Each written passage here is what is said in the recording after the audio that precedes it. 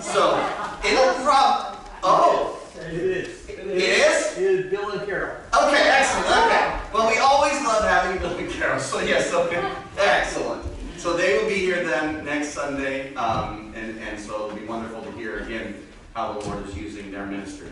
Also, um, this Saturday uh, is supposed to be men's breakfast, but um, we're gonna have to. We're gonna postpone, not postpone, uh, no men's breakfast this month. There will be next month, but Pastor John would normally fill in for me. Um, and so we're both gonna be gone because football season starts this, uh, Wednesday, so, uh, so yeah, but it'll, men's breakfast will continue on September as well. Um, but I have something too, but Oh, I, okay. and you, that text that you sent me, can I mention that? Oh, sure. Yeah. So, uh, Pastor John and I were just texting this week, and I don't know how many of you follow closely. Pastor John tends to follow Whitworth College over in Spokane, uh, closer than I did because Anna Grace went there. So they just came out with the news that it's a, you know, supposedly a Christian college, that now they will hire, uh, openly LGBTQ et cetera, for faculty member, and there was something else tagged on with it. That was the key thing. That was the key thing. So again, uh, shocking, I don't think I'm shocked by it, but saddened slash surprised would be a kind of another domino falling. And so, um, I just wanted to read just one section of scripture, no sermon here. But First Timothy chapter four, verses one through five. Now the Spirit expressly says that in the latter times some will depart from the faith by devoting themselves to the deceitful spirit and teaching of demons through the insincerity of lies, whose conscience are seared, who forbid marriage and require abstinence from food that God created to be received with thanksgiving by those who believe and know the truth. For everything created by God is good, and nothing is to be rejected if it is received with thanksgiving, for it is made holy by the word of God and prayer. Now I know that it doesn't explicitly say LGBTQ, the homosexuality issue, but the issue here says, and if you read Timothy and, and Second Timothy, that people who are claiming to be Christians will fall away from the faith. Now they don't think they're falling away from the faith. But just so we're all clear, because I've started teaching the word apostasy to my kids at the dinner table.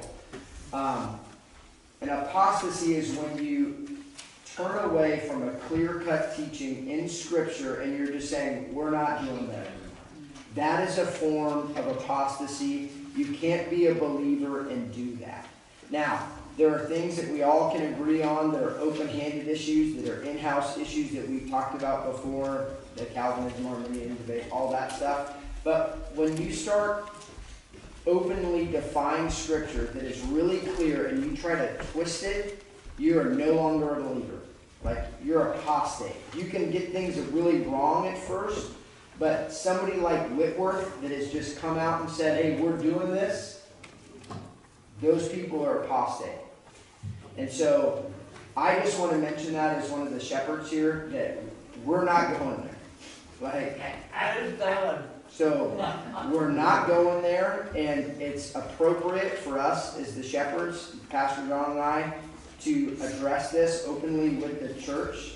And the key is we don't get to decide what the Word of God says. It's not like optional, right? It's not like Jack Sparrow said, where it's like they're guidelines. They're not. They're not guidelines. They're. This is what the Word of God is. So I just felt like, as I was praying about the church this week after Pastor John said that, again, I don't want to. For non-believers, I'm very, hey, we love you, let us teach you. But people who come out and say, hey, we're following Jesus, but then they just totally try to peddle the word of God that says something that it doesn't say. I, I don't have a lot of patience for them, right? It's the whole rebuke the goats, tend the sheep, and shoot the wolves deal. Those people are not representing Jesus. Maybe there are some over there that are, but that is a like faculty or whatever entity is not. So, anyways, How do you say the word? apostasy. Apostasy? Yep. Or apostate. And Somebody it would be means, apostate. it means leaving the word of God? Well, it would mean to turn, depart from the faith. Depart from the faith. Second, It would mean to depart from the faith. Thank you. And what we would interpret that is, right, because Whitworth is, if we said, hey, you guys are apostate, he would say, no, we're not. We still believe Jesus is the only way, blah, blah, blah. And so, yeah, but you're picking and choosing the commandments that Jesus has laid down in his word. You don't get to say that you're led by the Spirit of God and then contradict the word of God which the Spirit has inspired. The scriptures are not an à la carte menu. No, they're not. So, Right, and so, and there's a difference between the things that are less clear in the scriptures and that, and that believers can disagree on and, and, and both adhere to the authority of the word and learn to love one another. And then there are those things that are just blatantly obvious and core to the very system of the faith, that those are the things we're talking about. When you start messing with the core of the faith, then you can't really, in genuine integrity, claim the faith. And those those who do, we, we need to call out and warn against. And that's, that is a dominant movement in our culture and world today to basically embrace that whole movement that eviscerates the entire ethical system of the faith in the scriptures throughout it from Old Testament to New. And you can't eviscerate the ethics of scripture and still claim to have the that at that point it's just a shell with nothing inside. Yes, Frank. I would like to tag right on to the end of, of um, Sean's statements. Sure. Uh, we were, uh, with the uh, Presbyterian Church in Oakwood for about twenty years, plus or minus. Uh, and they were PCUSA, Presbyterian Church USA. And, and I think they followed the word quite closely.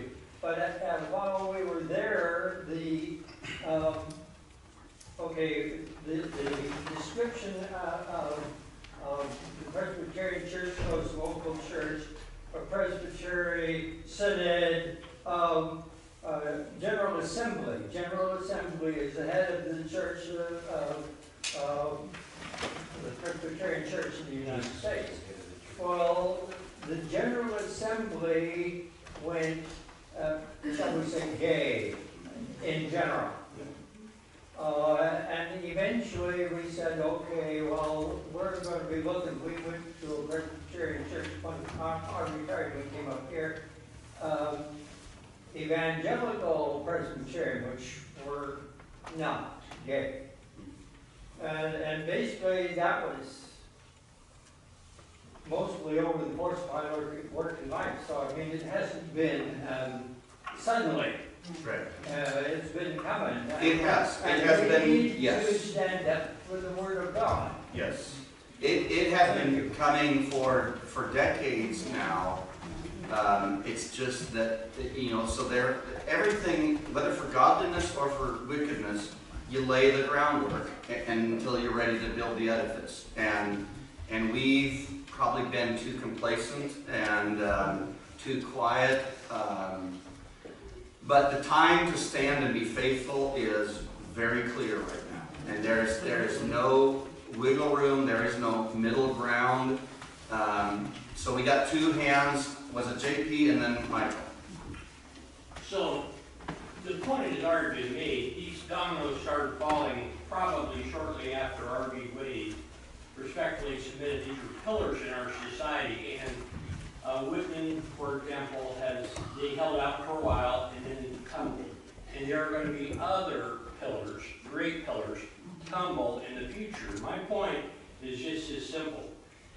The more these pillars that, that tumble, the odder we are going to see. We might as well come to grips with the fact that we have been called and set apart.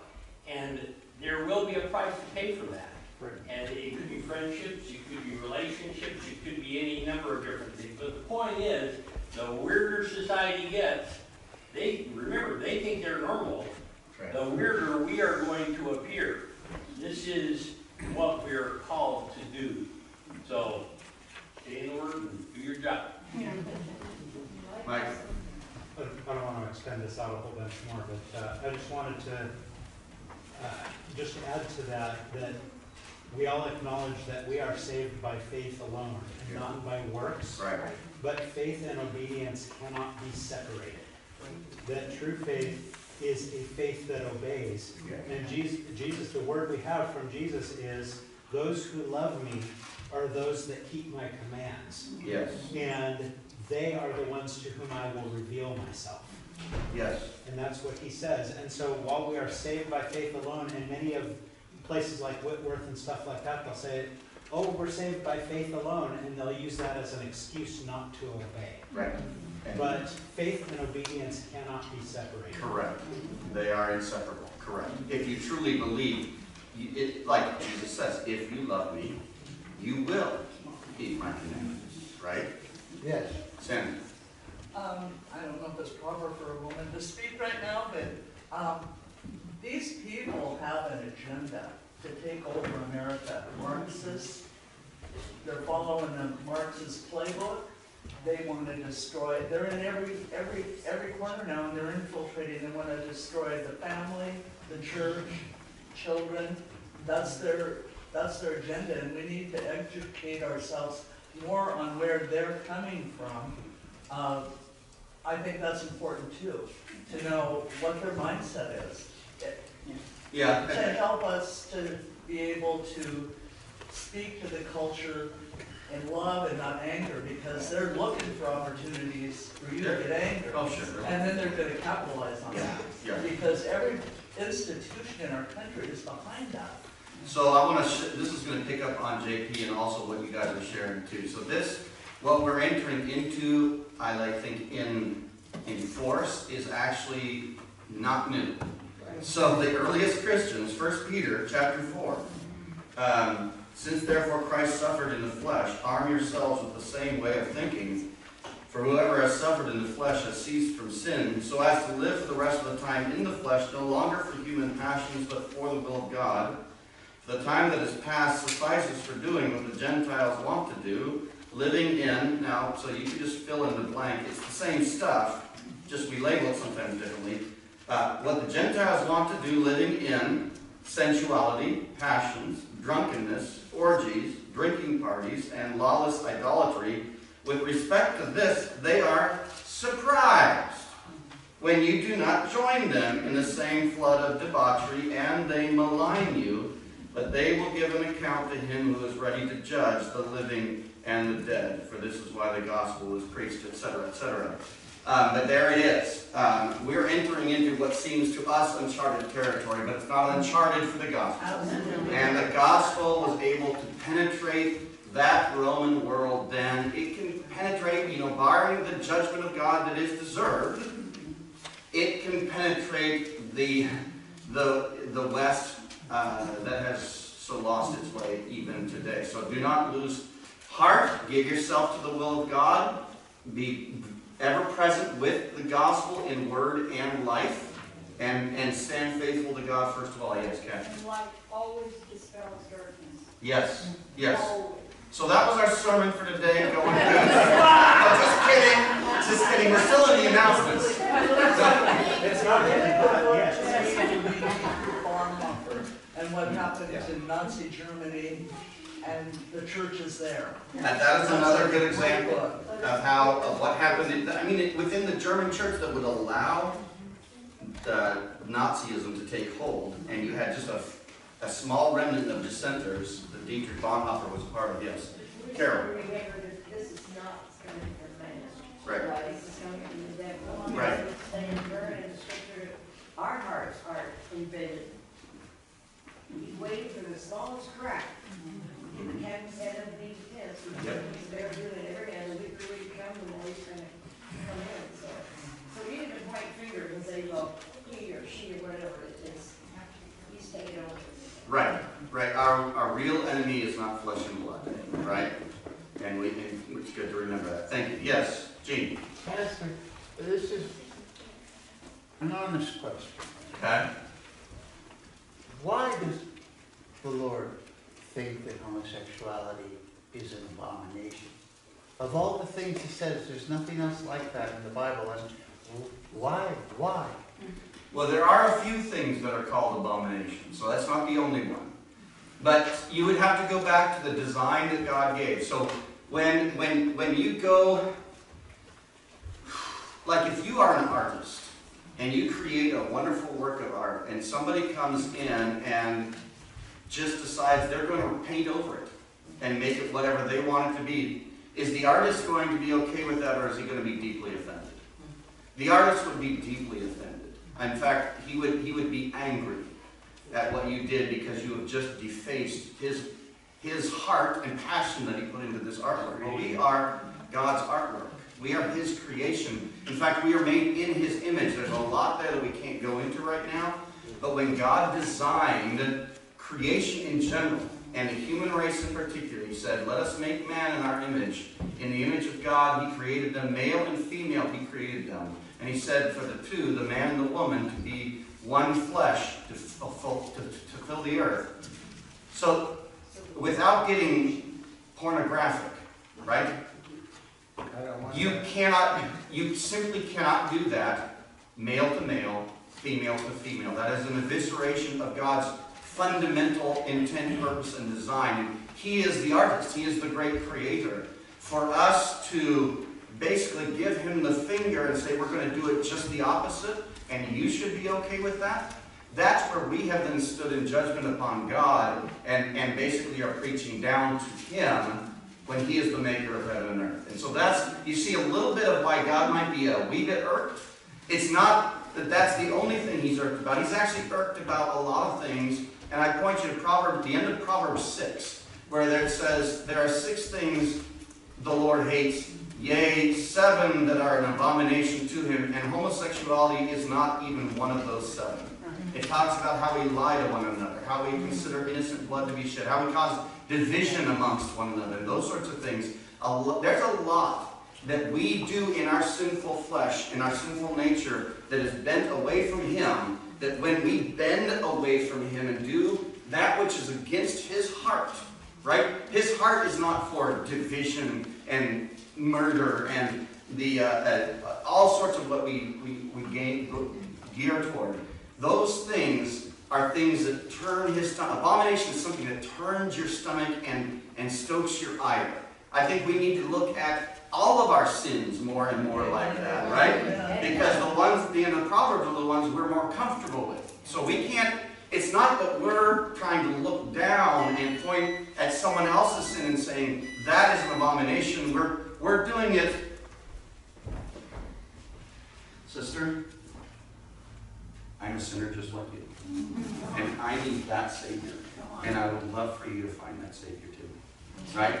And we can have freedom from whatever sin it is that we struggle with or that we are bound by, right? That's what we believe in that Lord, don't we? That's right. Then, right, so he's a Lord over it's uh, somebody who's bound by homosexuality, right? Whether, whether the Lord delivers you from that inclination is irrelevant. You can choose obedience. Even with that inclination, you can pray for the Lord to do it, but if you don't, then you can choose to walk in faith and what? Obedience, right? Because there is nothing wrong with being celibate, is there? No. Thank you, our Lord was celibate. That's not a worse issue than other things in Scripture. It's just being used as a wedge It is. by the enemy. Correct, correct, bingo. I, we're, we're all sinners. I say to other people, I'm a sinner too. Yes. I refuse to celebrate your Yes. sin. Yes. And that's what they're asking us to do. Yes. Oh. It's just what's prevalent in society too right now. Like, Right. if it was like a while ago, you know, big, huge food movement, you know what I mean? Gluttony can be lumped in that category as well. It's Yeah. just what society is present in society and our challenge right now. It's, it's Biggest not, one. guys, I, I, I understand what you're saying, it's not the same thing. The reason that it's so bad, and if you read Romans one, is because it's so clear that a man and a woman's body are made to go together. When society comes out and says, we don't care what that's made for, we're doing it this way, that's what God is talking about in Romans one when he gives their mind over to it. I'm not saying that all sins aren't sinful, but what we're recognizing here, and I think we can move on here soon, is that now, now- now that the, the people, that, and this is the issue, that people that are claiming the name of Jesus and have institutions that are colleges that are claiming the name of Jesus are saying, this is God ordained, that's Romans one to me. And my point is, as one of the shepherds here, is you better buckle up. Right. Like, so it's not, in my opinion, unless there is a, a, a, Holy Spirit revival, it's not gonna get better. It, it has, and love you, Sandy, it doesn't have anything to do with Marxism. Marxism might be a part of it, but it's all spiritual. And so you're gonna have to be able to gird up your loins of your mind and stand on the word of God.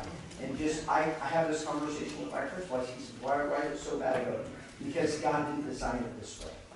And now you're saying that it is designed this way, and it's so clear that it's not. And so the point is, is that we have to be ready, and you don't get to pick and choose things out of scripture. When you do that, you open the door. That is how he gets in. Right. And so, like, just be ready. Yeah. Like, and don't give an inch. If it's true, it's true. You don't need to apologize to it. And I, like with Whitworth, I'm not gonna go, well, we're all the same. No, you're apostate. You are a wolf. You don't have anything to do with the bride of Christ. You are a servant of Satan. And, and, and you can repent and come back, but you are not a part of the holy bride of Christ. No way. No way. All right, any questions? Sounds like we No. need to have more meetings where we have discussion.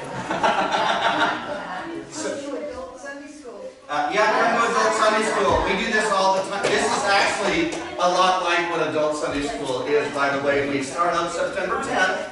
September 10th. So, um, Brian or one of the deacons, did you guys want to say something about the work party on Saturday? Let's have a work party on Saturday.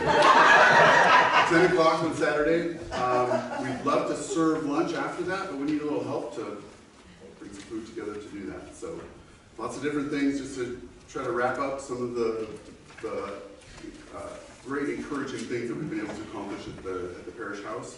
And we appreciate your help to do that. Is there gonna be installation work? Uh, there's a little bit of insulation. work, but Don't not wear all of it. shorts necessarily. Don't wear shorts. Just just saying. I've advice. heard bad things happen in that. uh, so It's itchy. And we have a couple of birthdays this week. So I know we already sang for the Harrison Lewitz's last week, right, for your anniversary. But Kathy has a birthday this week, right? Excellent. And Stephanie, oh, and you have one too? Oh, Michael has one. It was Friday.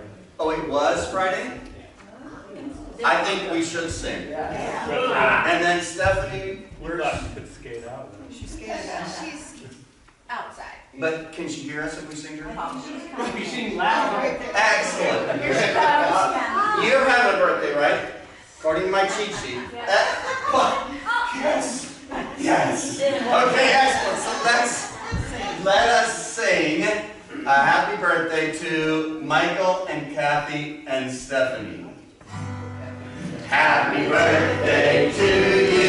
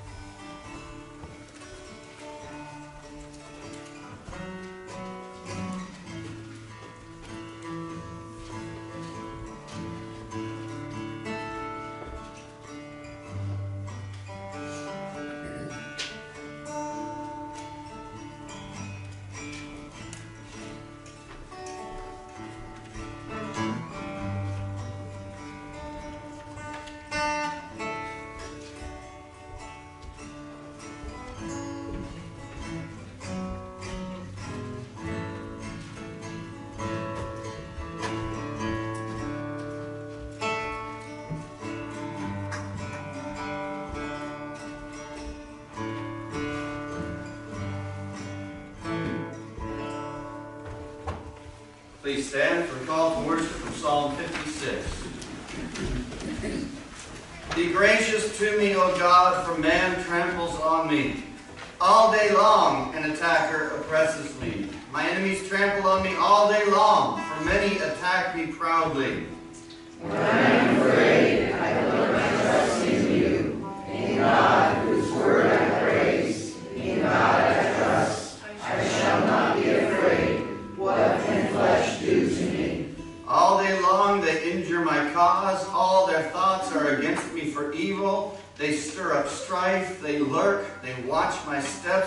Have waited for my life. For their crimes will they escape, and wrath cast down the peoples abroad. You have kept count of my tossings. Put my tears in your bottle. Are they not in your book? Then my enemies will turn back in the day when I call. Is it not but that our is worthy in god this word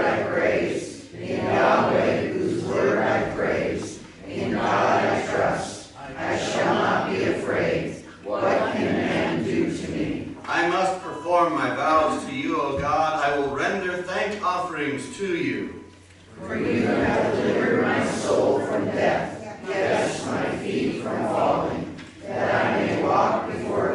in the light of life. Please turn in your uh, worship guide. There should be an insert for you with a couple of bluegrass gospel songs. Let us sing them together.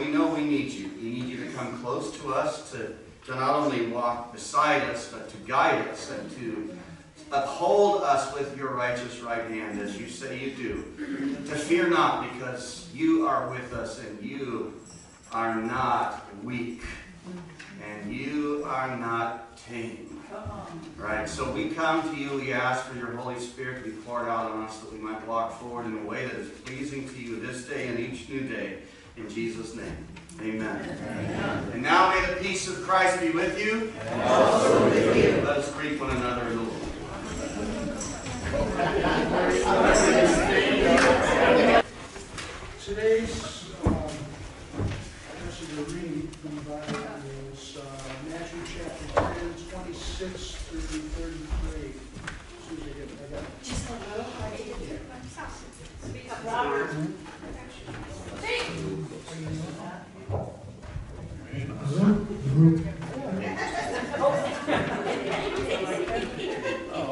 Amanda,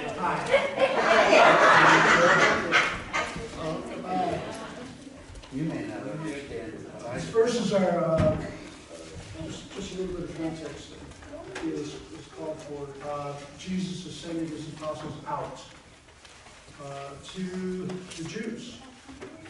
And he is um, telling them what could be happening and what is, what they should be feeling about it. In any event, 26.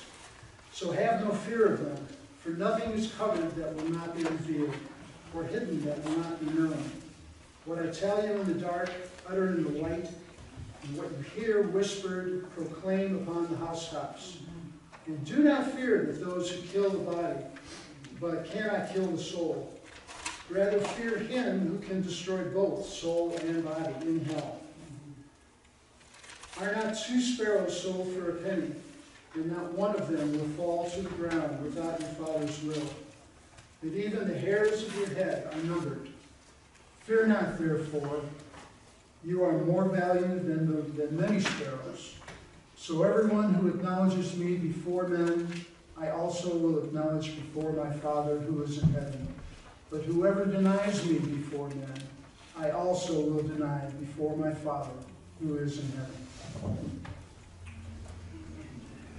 Sobering words, but good for reorientation. If I could call the kids forward, that we're going to sing a song that comes directly out of um, Psalm 56, verse 3, that we use for a call to worship. So once you're done with this song, you will have memorized another Bible verse, and it's a good one. When I am afraid, I will trust you. No, I don't have any hand motions. When I am afraid, I will trust in you. I will trust in you. I will trust in you. When I am afraid, I will trust in you. In God whose I. When I am afraid, I will trust in you. I will trust in you. I will trust in you. When I am afraid, I will trust in you. In God whose word I praise. Okay, so you guys got that? Yeah, Really easy, yeah. but it's really good, right? Kids, you got all those words down? I, I will trust in you, I'm trusting you. That's pretty easy, right? All right, let's do one more time.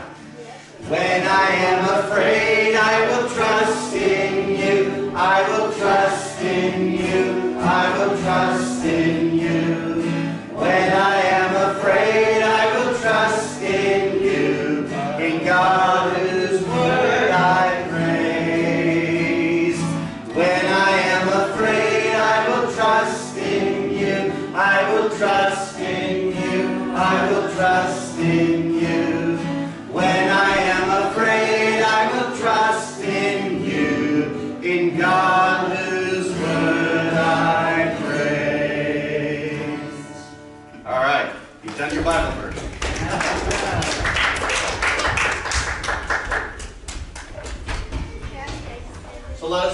time of prayer together. We have much that uh, we can bring before the Lord, do we not? And Heavenly Father, I do want to pray for the devastation over on Maui and Hawaii right now as the numbers increase uh, with the devastating deaths and the devastating fire there, and not just the deaths, but the destruction of, of property in whole towns, Lord. Um, we, we, we don't understand why you bring these things into our lives and for what your purpose might be. But I would pray that um, you would pour out your mercy even in the devastation, that you would awaken your church there on Maui especially to just uh, step forward boldly into the devastation to minister your mercy and your peace and your comfort in this time, Lord. May your name be honored and glorified even through the fires in Jesus' name.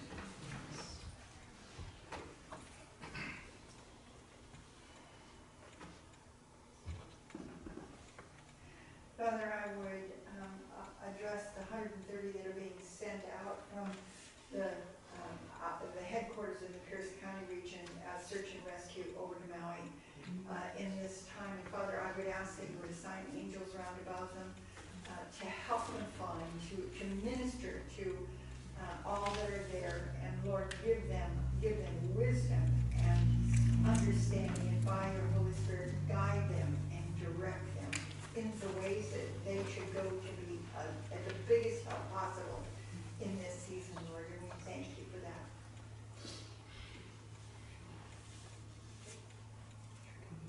Lord, I thank you for watching over us on our trip this week and for um, returning us safely. Thank you for um, all that you showed us and for your creation that we got to enjoy. And thank you for answering prayers.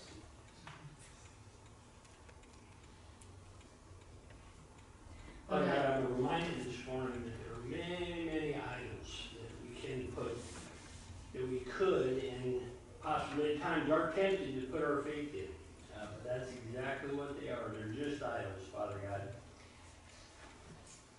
We cannot put any faith or trust in where we live, where we bank, what we do for a living, how much we earn, what we drive, Father God. There's just one place to put our faith and trust, and that is in you, Lord God. My heart's cry this morning is that we will each revisit the foot of the cross as individuals this morning, in heartfelt prayer, Lord God, that you would burn these idols out of our life, Father God, that we will, we will gain clarity and, and, and understand, Father God, how well taken care of we are and how well placed our trust is, Father God, and for that we will forever be thankful. In Jesus' name we pray. Dear Father, I would ask that you would, through your Holy Spirit, convict um, those attending Whitworth, um, those in leadership in Whitworth, Lord, um, Lord, those who truly know you, um, just break their hearts over this um, new policy. And uh, with, with you, Lord, there's nothing impossible. Um, Please bring change, godly change that you would be pleased with. And as a result, bring many more lives to Christ, Lord, um, in that region. Sure will, Lord, bring a, a revival of repentance there over this huge error.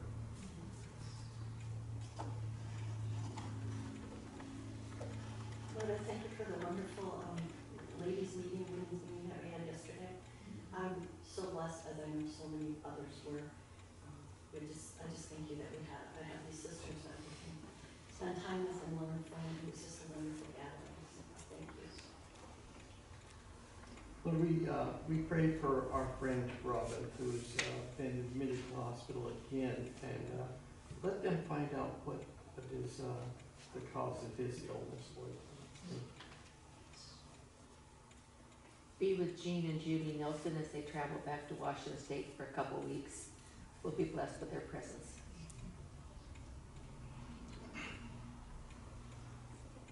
Father, I just offer up praise and thanksgiving to you for your goodness and your mercy and your love and your patience, all your perfect attributes, Lord.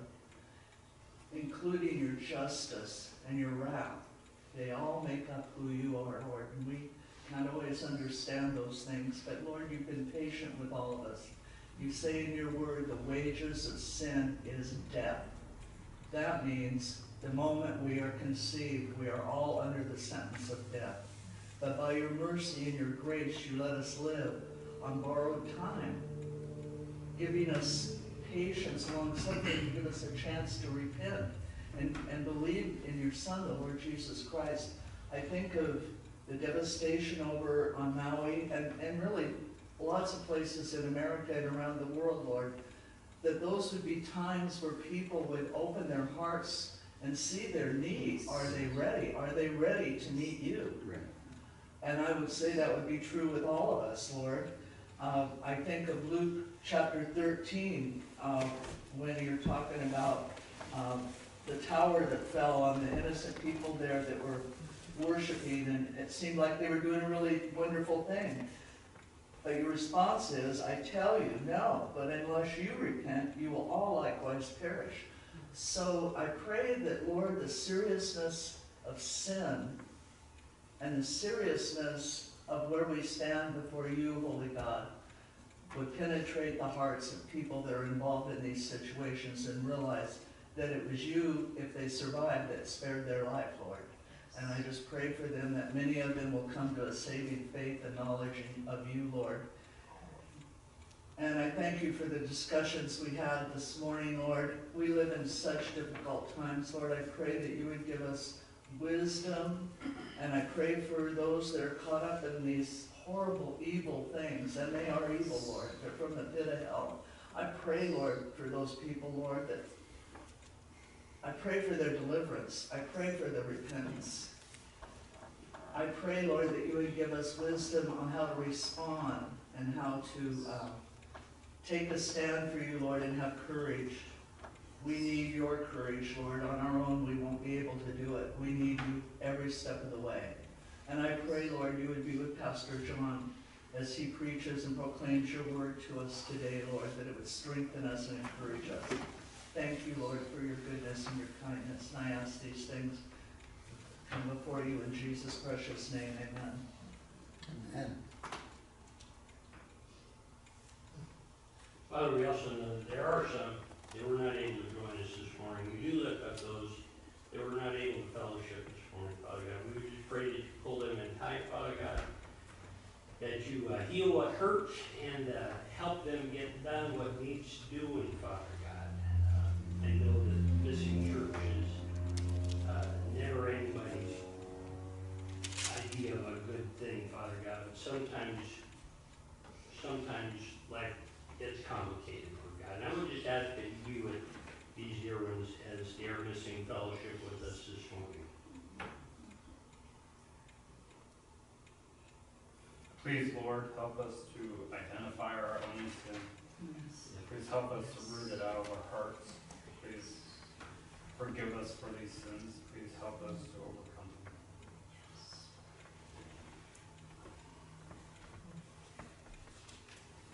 Then let us voice together sing.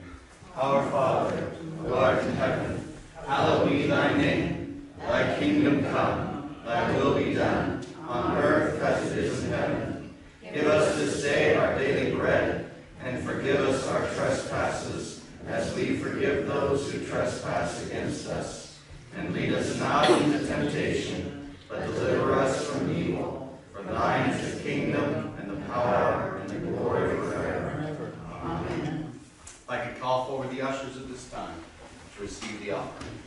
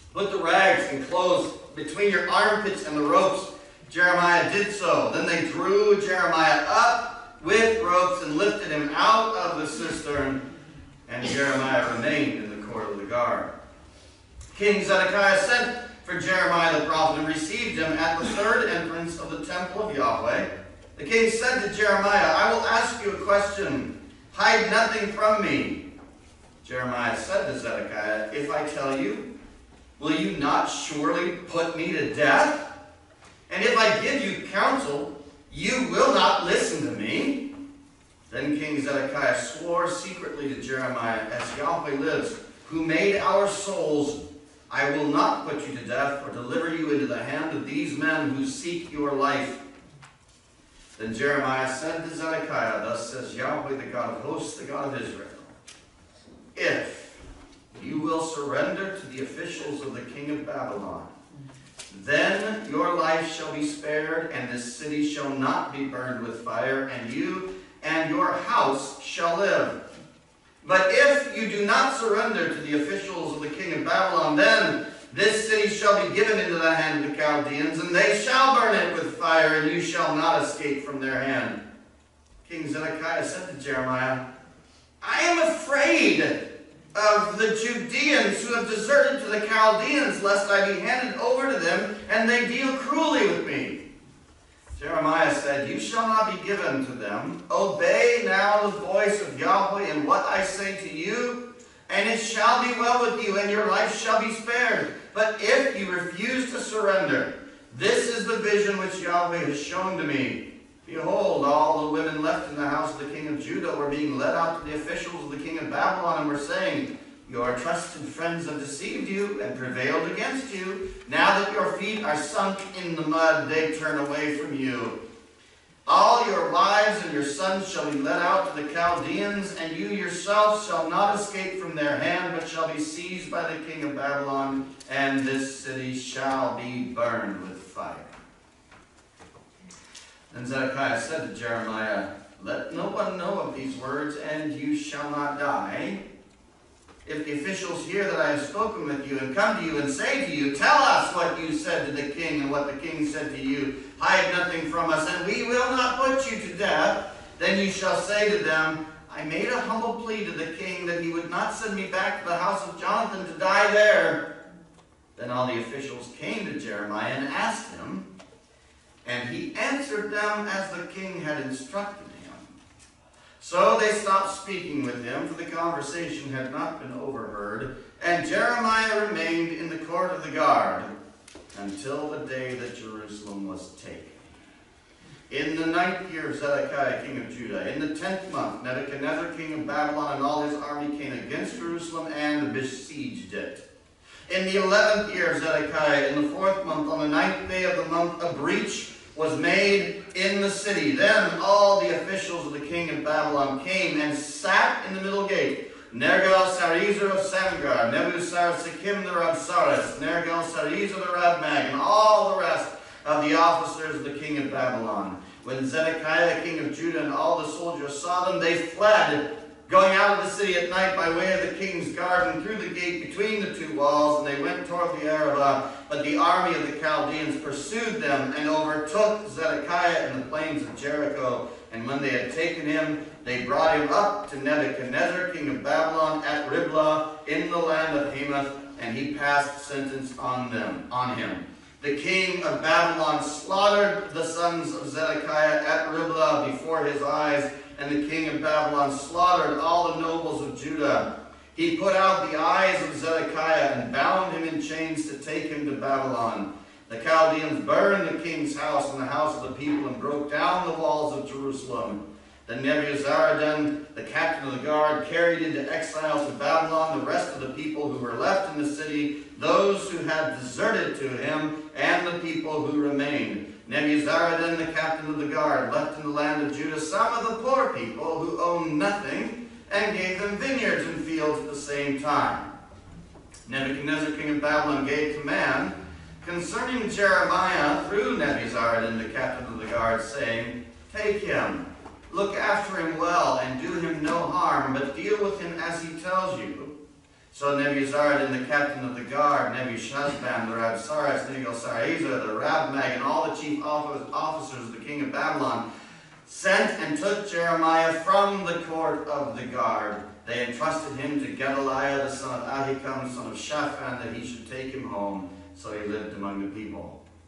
The word of Yahweh came to Jeremiah while he was shut up in the court of the guard.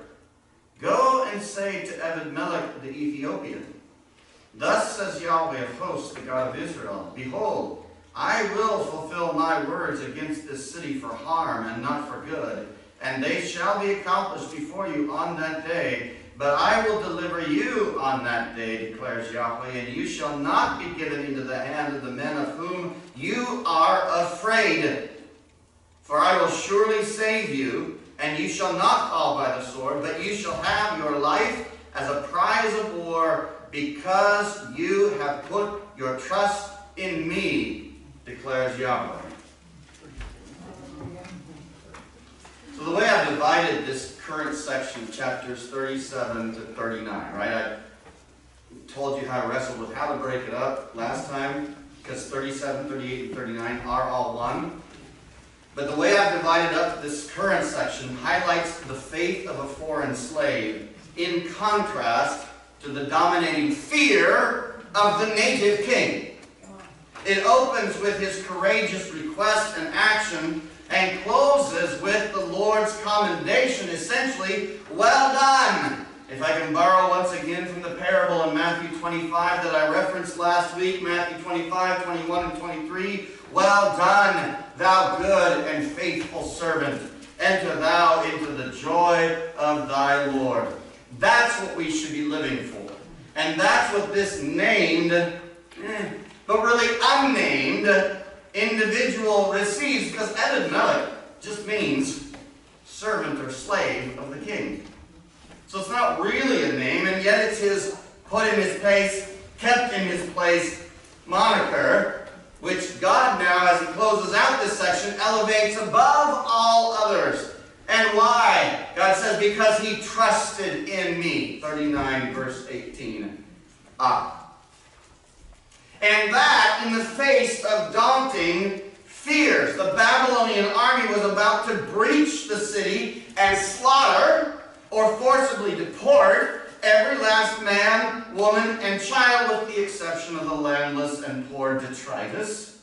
And in the interim, all the people with power in this doomed city are hell-bent on crushing any expression of dissent or genuine faith. Oh, that's starting to sound familiar now, isn't it? and yet above all this, the Lord declares that he trusts in me. Above all that, and what are our daunting fears? Say, the threat of a full-fledged military apocalypse if we are somehow drawn into war with China, along with Russia, North Korea, Iran.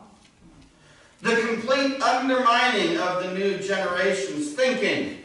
A wholesale change of worldview to embrace the sex and gender, etc. ideology that has become so ascendant in our land. And where faith and dissent are actively squelched. The rapid decline uh, in the priority of faith or in the very presence of faith itself in our younger generations especially, coupled with the rapid rise in nihilism and despair, along with the disillusionment with the stabilizing institutions in our land whose trust has been repeatedly undercut by corruption, all propelling us toward a generalized fear of what the future holds. But this half section, and especially the dichotomy between the figures of the king, Zedekiah, and the slave of the king, Ebed-Melech, really highlights the question of which force will be our driving force, which force will govern our lives, our decisions, our actions. Will it be fear or will it be faith? Right? So first, will it be fear? And here I want to hone in on Zedekiah's fear as exhibited here, for he is a premier example of one whose governing force was not faith, though he claimed it, right? Notice chapter 38, 16, if you have your Bibles open, where Zedekiah swears, As Yahweh lives, who made our souls, right? Just like he had recently asked Jeremiah in chapter 37, verse 3, please pray for us to Yahweh, our God. He is a premier example of one whose governing force was not faith, but fear. And fear of three particulars that we find before us here. One is the fear of the Babylonians, certainly, also known as the Chaldeans, which is the ethnic background of those currently reigning over Babylon. And he had every good reason to be afraid because he had been first placed on the throne of Judah as a Babylonian vassal by this very king Nebuchadnezzar. And yet he chose to rebel against his overlord and ally himself with Egypt instead, probably uh, with the promise of a lesser tribute, which would mean keeping more money in their own pockets, which is always, you know, one of those good motivators, right? But overlords, including especially ancient Near Eastern overlords, never take too kindly to rebellion or being betrayed. And so they are coming after him with a vengeance. Okay, two, fear of the Judean deserters. Explicitly, he says, chapter 38, verse 19, I am afraid of the Judeans who have deserted to the Chaldeans, lest I be handed over to them and they deal cruelly with me. I mean, he has a genuine and justified fear of his own people who'd already deserted, including his own soldiers. You recall from up in verse 4, we looked at last week how, how the officials complained about Jeremiah stoking the timidity of the soldiers who are left. To the deserters, Zedekiah basically is responsible for ruining their lives. And they'd love to have a chance to really ruin his as well. Three, fear even of his own closest and highest officials. We see this fear expressed both at the beginning and at the end of chapter 38. Going back to that last week again, when his officials want to put Jeremiah to death, Zedekiah replies in verse 5, Behold, he is in your hands, for the king can do nothing against you. I mean, he doesn't have the personal backbone or the political will to stand against the combined force of his top officials. To do so at this juncture wouldn't just be political suicide, it might just be plain suicide. And at the end of the chapter, you can see how leery he is and how precarious his position is with him when Zedekiah closes out He is once more one-on-one with this. Look at verses 24 and 25. Then Zedekiah said to Jeremiah, let, one, let no one know of these words, and you shall not die. If the officials hear that I've spoken with you and come to you and say to you, tell us what you said to the king and what the king said to you, hide nothing from us, and we will not put you to death. And you'll notice not just here, but throughout the chapter, That is always the threat of death for Jeremiah. But underlying it here in this particular instance, in the verses there at the close of that chapter, it's perhaps intimated as well that there might be a threat of death to Zedekiah if he were to step outside the allotted lines. Okay, so Zedekiah's got these three dominant fears. But do you see what all of them have in common? It's the fear of man rather than the fear of God. That is, he feared all these things rather than or more than God. And that caused him to ultimately, practically, disregard God. Because even though he sought God out, the step removed via proxy, he didn't really want to hear or heed what God's been repeatedly saying. He wants the voice of God, but he wants it to change to suit what he needs and what he wants. The problem is God doesn't change his word to suit our wants and needs, at least as we understand them, which are often off base. He gives his word as a gift for us to receive as is. And his word, once again, to Zedekiah here through Jeremiah was indeed a gift. He said, look at verses 17 and 18. If you will surrender to the officials of the king of Babylon, then your life shall be spared, and this city shall not be burned with fire, and you and your house shall live. But if you do not surrender to the officials of the king of Babylon, then this city shall be given into the hands of the Chaldeans, and they shall burn it with fire, and you shall not escape from their hand. The gift is this clarion word, Spelled out ever so clearly in black and white in that double if then. But would he listen? Which Jeremiah knew he wouldn't do, right? And why? Because he never did. Jeremiah said, verse 15, If I give you counsel, you will not listen to me. That's the critical thing right there. Stripping away all the form, right? And getting down to the substance. Which harks back to chapter 37, verse 2, the summary of the whole reign of Zedekiah and of Jeremiah's whole experience with him. It says, But neither he, that is Zedekiah, nor his servants, nor the people of the land listened to the words of Yahweh that he spoke through Jeremiah the prophet.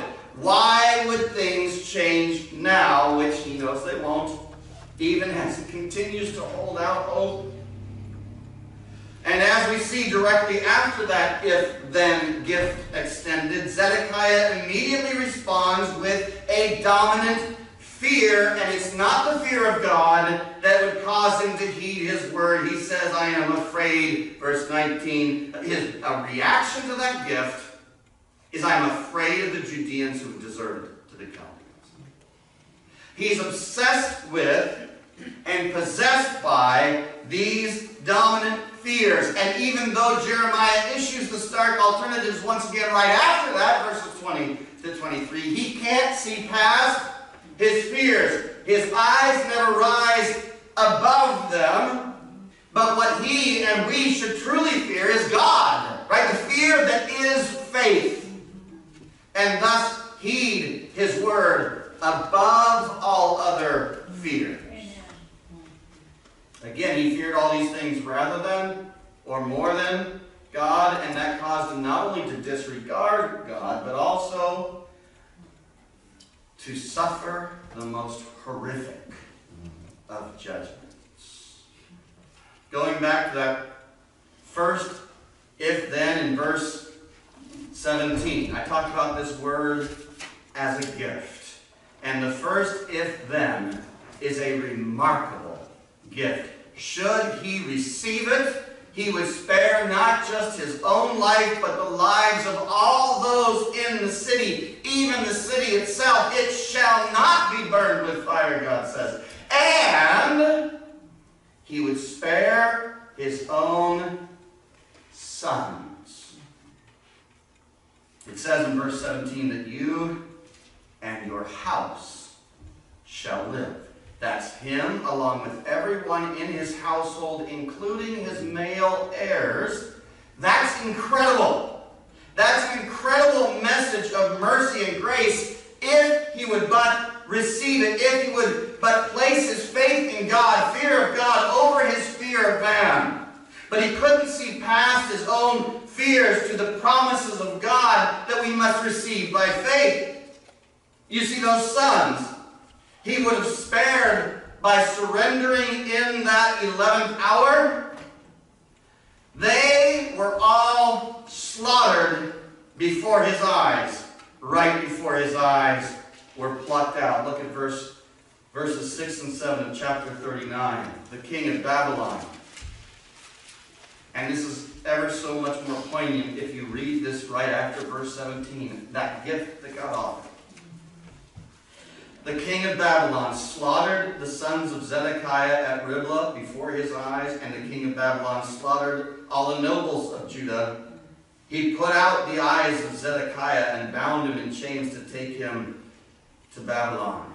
The last thing Zedekiah saw was the consequence of his faithlessness.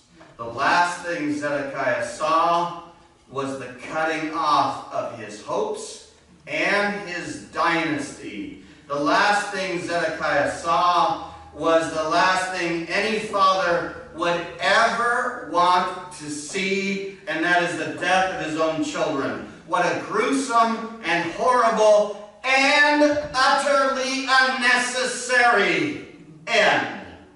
If he had but listened, if he had but received the gift but his fear of man was predominant over any fear of God. His fears eclipsed any semblance of true faith, which is why God's verdict on this man wasn't good. It was evil. Now, we probably feel some natural sympathy for him and for his vacillating faith and lack thereof. And might even think that, okay, sure, he's not a model to follow, but, you know, he's in the faith. but God declares otherwise. In the summary evaluation we find in 2 Kings 24, verse 19, God says this He did what was evil in the sight of Yahweh. Short and clear and sobering for us all as well, especially seeing how well He represents so much of the American church wanting that connection with God, but not willing to actually listen.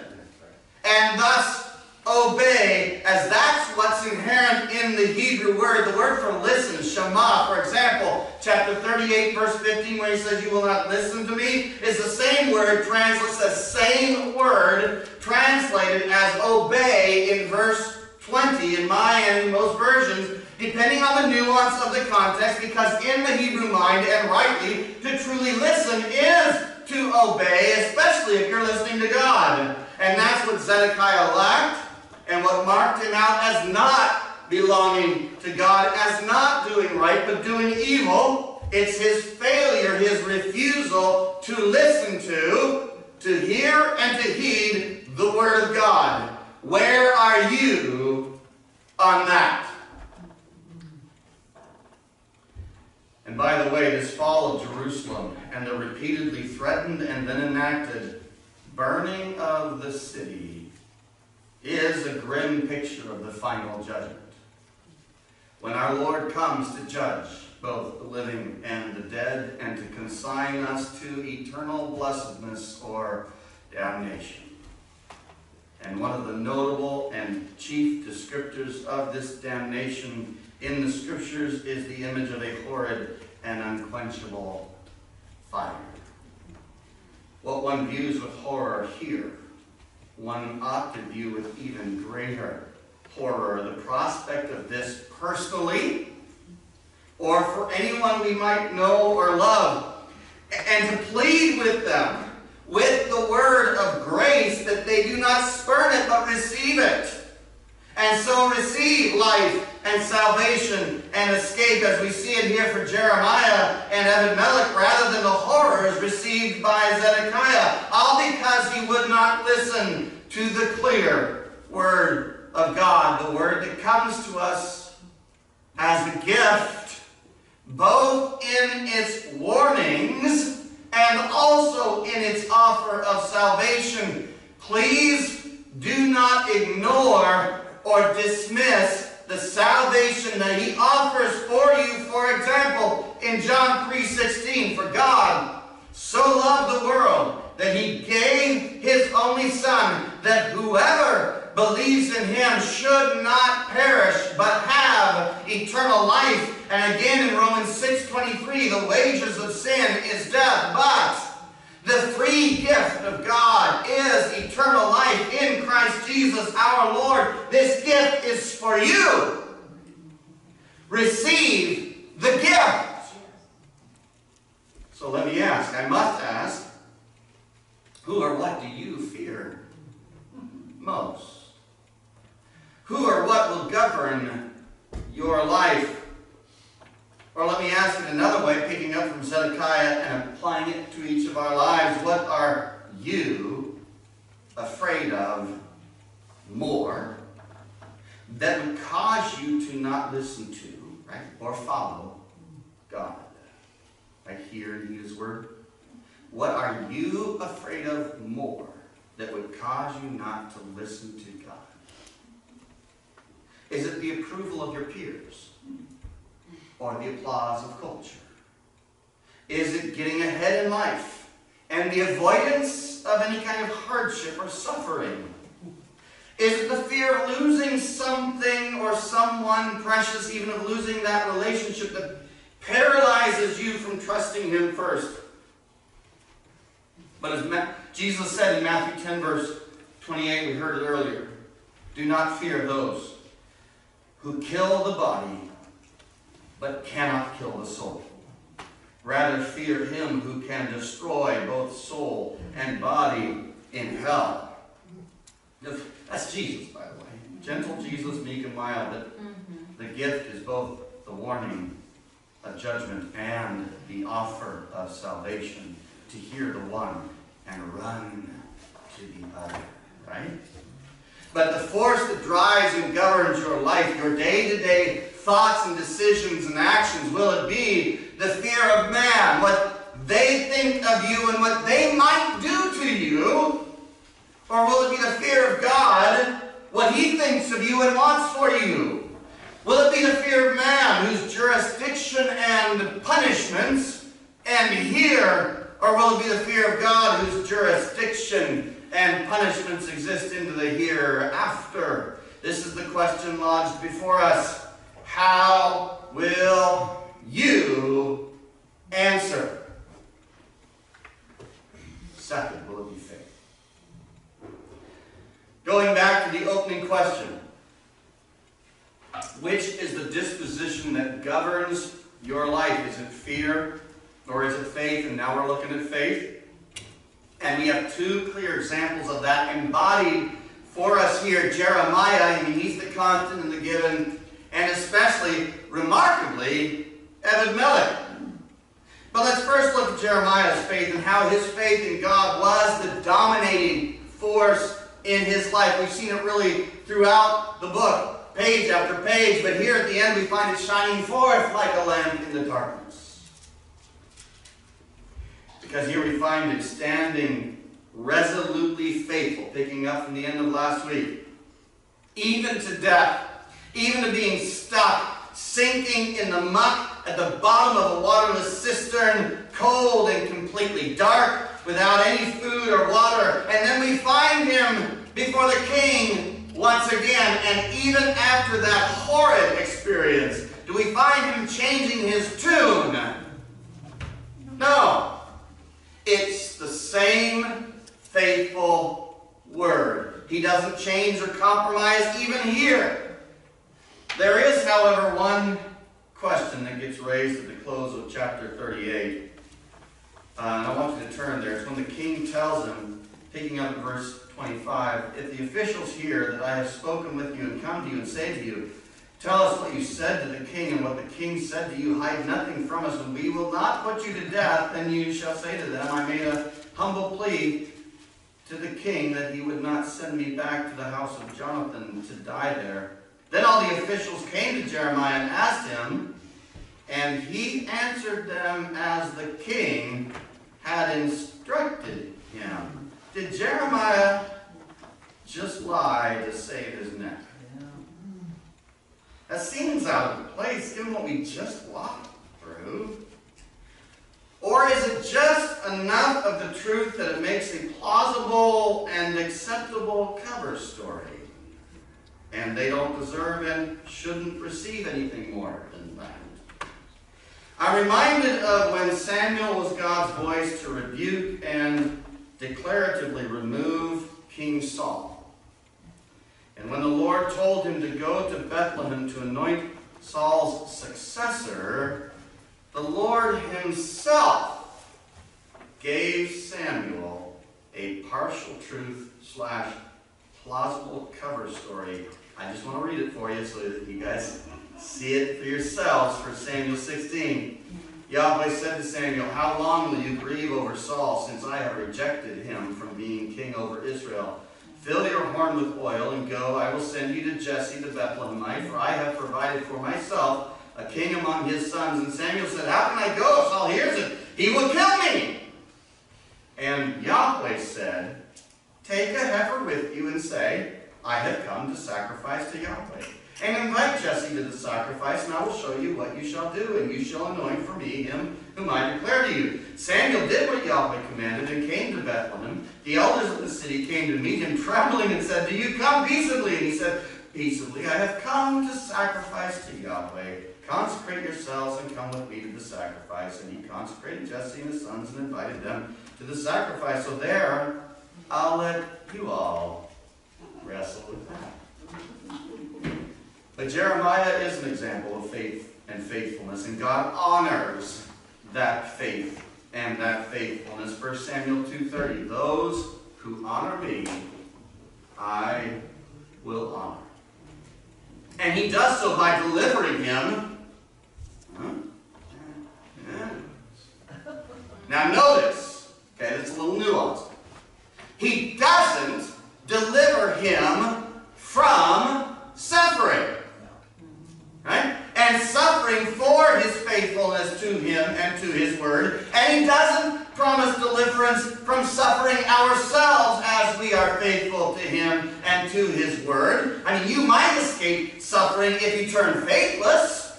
You'll avoid the suffering that comes from the world, but is that really the choice you want to make and the place you want to stand? Too many have done so already and are doing so at an alarming rate. We talked about Whitworth University, from where my daughter Annie just graduated, now officially changing its policy to begin hiring LGBTQ faculty. And I'm, I asked Annie about it, and, and I said, you know, this really is kind of a linchpin moment for them. And then she asked me what a linchpin was. Uh, but I knew it was looming on the horizon. I just didn't realize that they would cave so quickly. I thought it would be five years, maybe ten at the most, and it happened now. But remember, brothers and sisters, the ultimate tribunal before which we all must stand. Romans 14, 10 and 12. For we must all stand before the judgment seat of God. Each of us will give an account of himself before God. You can avoid suffering now if you compromise to fit in with the world and to receive its applause. But what will you say when you stand before your Lord? And what will he say to you? Hmm. But going back to how God delivers him, for one, he protects him from the ever present threat of death. And you'll notice how many times that specter of death hangs over him in this section especially. Ebed-Melech, verse 9, blurts out that Jeremiah will die there in that pit of hunger. And the king recognizes the same dire state, he says in verse 10, to take him out of there before he dies, right? Jeremiah says to Zedekiah in verse 15, If I tell you, will you not surely put me to death? And Zedekiah replies, verse 16, I will not put you to death and deliver you into the hands of these men who seek your life. And after that conversation, Zedekiah counsels, verse 24, and let no one know of these words, and you shall not die. In other words, that you will die if you do. And he knows that they'll offer him his life in exchange for this coveted bit of info. You know, verse 25, we will not put you to death. And that he should drop that little tidbit about not being sent back to the dungeon to die there instead. That's verse 26. But he was in danger of death from his conditions, from his king, and from his own countrymen. But God had assured him all the way back at the beginning that he would deliver him. Jeremiah 1.19, They will fight against you, but they shall not prevail against you. For I am with you, declares Yahweh, to deliver you. And he did, even here. He kept his word. He always does. And for another, he delivers him from that awful execution pit through the agency of Ebed-Melech, which we'll look at in a moment. They actually intended a long, slow, traumatic, agonizing, and out of the way death. And what Jeremiah was doing down there in the darkness and the cold, sinking in the muck, no food or water or hope of escape, it doesn't say. And he mustn't have been there for too long before God rescued him, again from an unexpected angle. But I'm sure there was some very real and frank conversation with God, like we saw in chapter 20. Go back there, it isn't pretty, but it's real. But he didn't change his tune or betray his God. And again, he delivers him to more humane prison conditions. Over and over, three times actually, we hear the exact same repeat of this phrase, quote, and Jeremiah remained in the court of the guard, unquote. We read it at the end of chapter 37, verse 21, where he's raised from the dungeon to this better place. Second time in chapter 38, verse 13, where he's raised from the pit to that better place. And lastly, at the end of chapter 38, verse 28, that's where he was kept. And in fact, that's exactly where the Babylonians find him after they breach the city. It was God's, you might say, God's own interesting way of keeping Jeremiah safe during the fall and destruction of the city. Because being in prison, they would know he's on the outs with the people in power. And I'm sure they're quickly able to identify him as the one who's been encouraging surrender. All the Judean defectors, I'm sure, spilled the beans on that.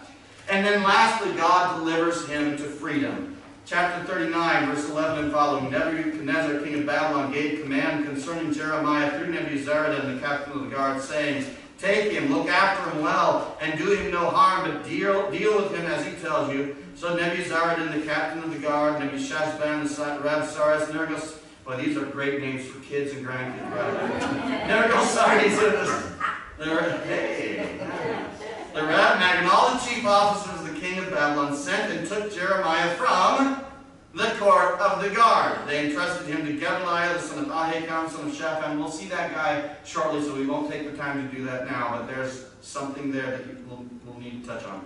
That he should take him home so he lived among the people.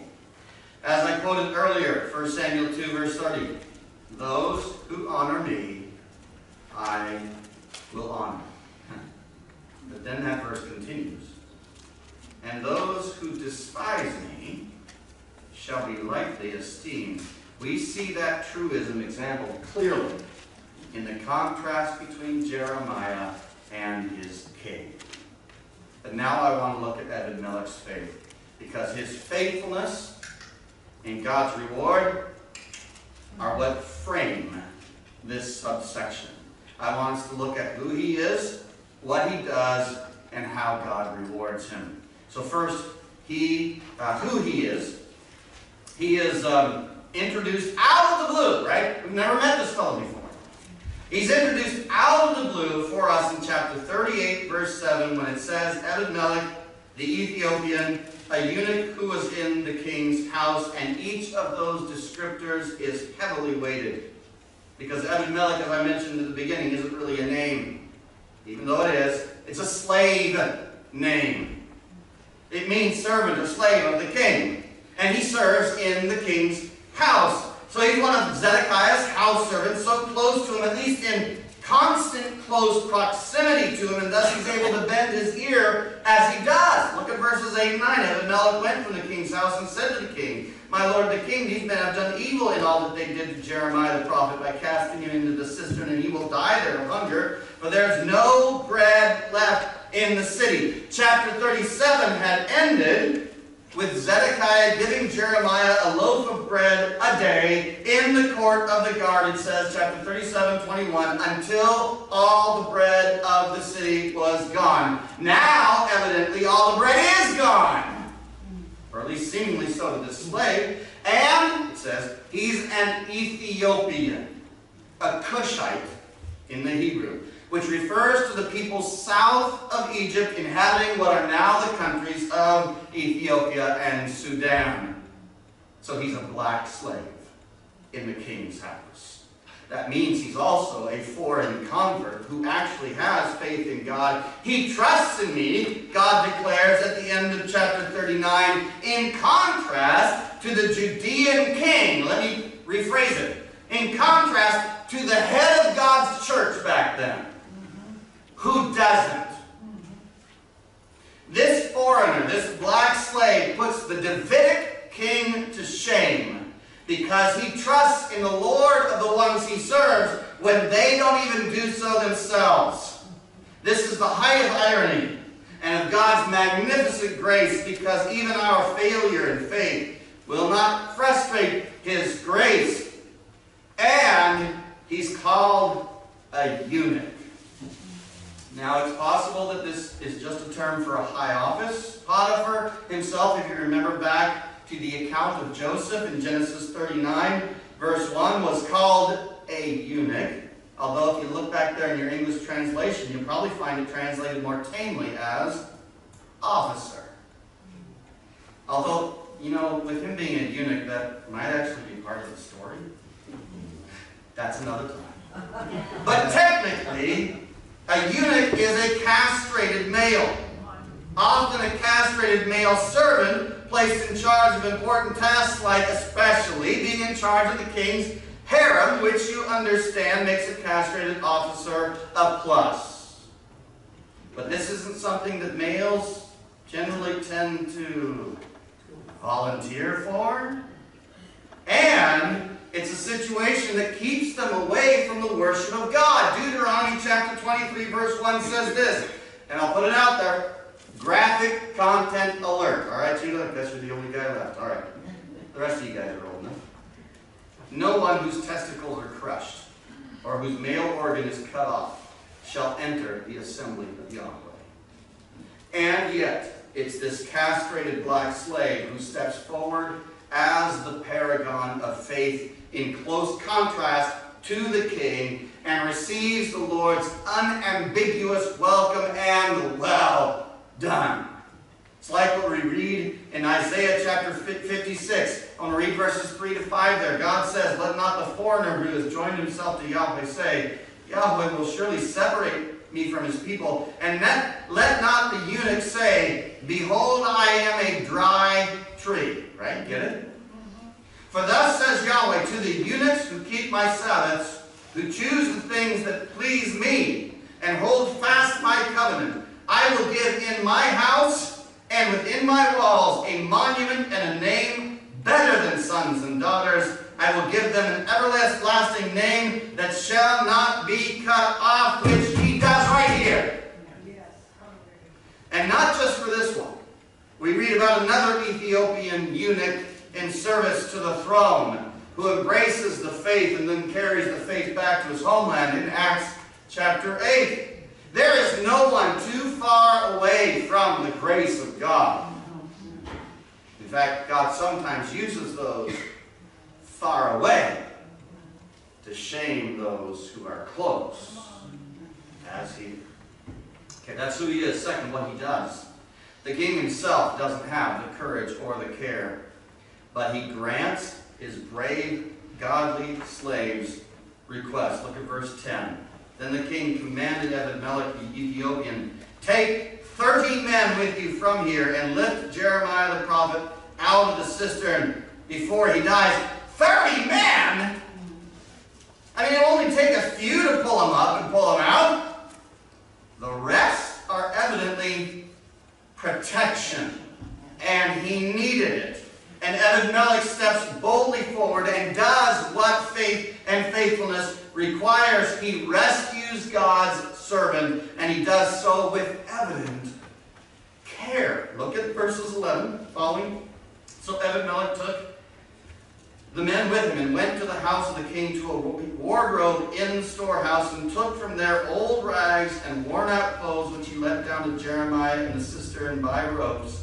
Then Ebed-Melech the Ethiopian said to Jeremiah, Put the rags and clothes between your armpits and the ropes. Jeremiah did so. Then they drew Jeremiah, drew Jeremiah up with ropes and lifted him out of the cistern, and Jeremiah remained in the court of the guard. I mean, he would need that padding to keep him from getting some serious rope burn at the very least. Being stuck as he is, you know how deep? In the muck, sunk down in the muck.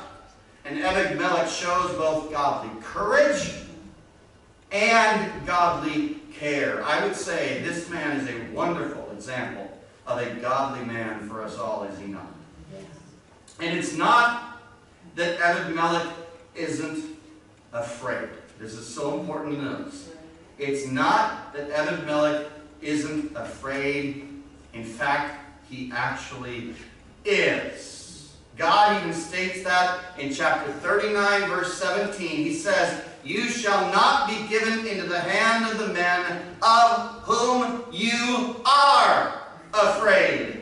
Afraid certainly of the Babylonian armies, the onslaught that is about to so violently rush in, but also clearly afraid of the Judean officials whose sentence he is directly going against. They had delivered Jeremiah to this death, and even the king would not dare to oppose them openly, which again is why he needed those 30 men. So Ebed-Melech is afraid, just like any of us would be as well. It's just that his fear is not what drives him. His fear is not what governs his life, his decisions and actions. Faith is. Trusting God is. As I've said it before, others have said it as well. Do it scared. Right? Don't let your fear stop you from doing what you know you need to do before God. Do it scared anyway. Like David confessed in Psalm 56 that we used as our call to worship, verse 3 When I am afraid. When I am afraid, I put my trust. And third, God rewards him for that. Look at verses 15 to 18 of chapter 39. The word of Yahweh came to Jeremiah while he was shut up in the court of the guard. Go and say to Ebed-Melech the Ethiopian, Thus says Yahweh of hosts, the God of Israel, Behold, I will fulfill my words against this city for harm and not for good and they shall be accomplished before you on that day. But I will deliver you on that day, declares Yahweh, and you shall not be given into the hand of the men of whom you are afraid. For I will surely save you, and you shall not fall by the sword, but you shall have your life as a prize of war, because you have put your trust in me, declares Yahweh. You see, the Lord watches over his own. And whether we live or die, suffer or prosper, we are always in his eternal care. And we can rest in that and continue to courageously and compassionately act and speak as befits a servant of God. We live in increasingly unsettling times. With many things swirling around and sucking us down that we have cause to fear. Things at home, and things abroad, things in our culture and things in the church. And we can evaluate things and respond to things in one of two ways. We can look at the fear and be gripped by the fear. Or we can look at the fear, same thing, and be gripped by faith. By our faith in the one who is above all these fears and must be above all these fears in our hearts and in our lives. So as we close, let me bring that opening question back. Which of these will be your driving force? Which force will govern your life? Will it be fear or will it be faith? Let it be faith. Heavenly Father, thank you for your word. It's a word that uh, calls us into places we'd rather not go. But as you bring us there, Lord, draw our eyes past the fears and towards you in faith and trust completely.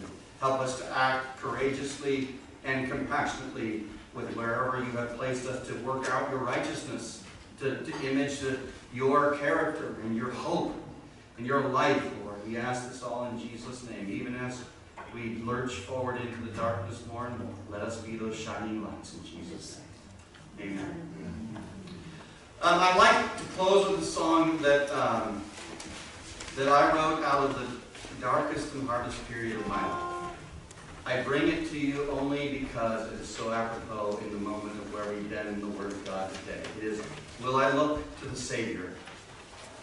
I will. Please stand.